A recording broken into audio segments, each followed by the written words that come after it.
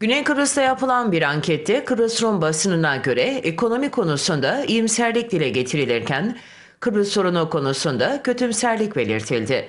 Filadelfos gazetesi Kıbrıs Rum Başkanlığı'nın bilgilendirilmesi amacıyla Gunara ve Metron Analisis şirketleri tarafından 1004 kişinin katılımıyla 11-18 Kasım tarihleri arasında yapılan anket sonuçlarına yer verdi. Anket sonuçlarının hükümet edenleri ilgilendiren üç önemli unsuru kayda geçirdiğini yazan gazete, bunlardan bir tanesinin ekonominin 3 yıldan beridir en iyi aşamada olduğu, ikincisinin Kıbrıslı Türk lider Mustafa Akıncı'nın Kıbrıs Türk liderliğine seçilmesiyle yaşatılan aşırı iyimserliğin yerini çözüm perspektifine yönelik kötümserlik ve düşüncenin alması, üçüncüsünün ise Kıbrıs Rum Yönetimi Başkanı Nikos Anastasiadis'in imajının iyileşmiş olması yönünde olduğunu yazdı.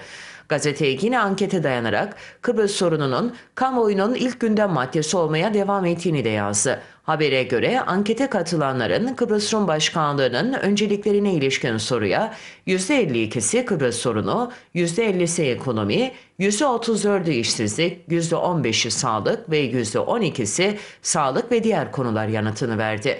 Kıbrıs sorununda avantajlı bir çözüm olanağının bulunup bulunmadığı şeklindeki soruya 47'si evet bulunuyor, %50'si hayır bulunmuyor cevabını verdi.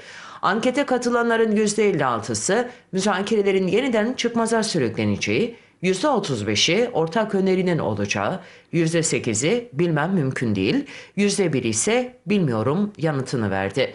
Ekonomi konusunda ise ankete katılanların %35'i ekonominin gelecek yıl daha iyi olacağı, %33'ünün aynı kalacağı, %30'unun daha kötü olacağı yönünde görüş ortaya koyarken %2'si ise bilmiyorum yanıt yok şeklinde görüş ortaya koydu.